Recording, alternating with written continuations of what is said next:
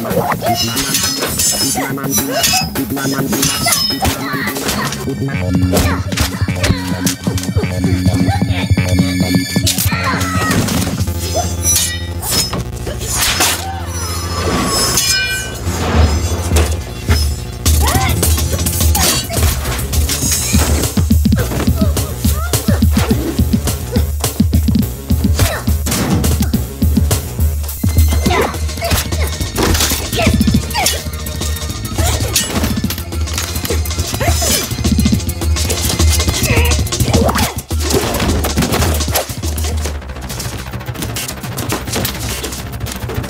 どう?